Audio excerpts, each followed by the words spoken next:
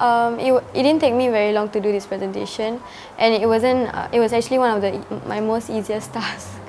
When I got this order, my dad was a bit like stunned. Normally he's just like, oh, it's nothing much.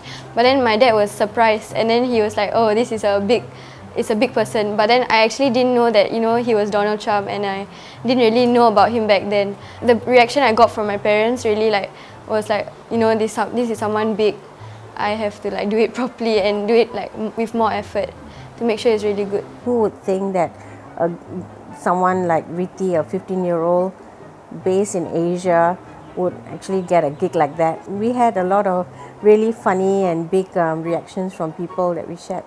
I think the results were totally unexpected. But to think that, hey, I just wanted to, you know, grab my daughter at that time, it's like, you know, your client won. Uh, I feel like I played a part in um, actually helping Trump win because in the end he won. And so like I feel I had a part to play, maybe a small part or maybe a big part, I'm not very sure about that. But I definitely feel I, I had a part to play. Yeah, I was a bit worried like if people know and find out that uh, I did this then I'll get like some hate or something like that because I have a part of to play, you know, that he actually won.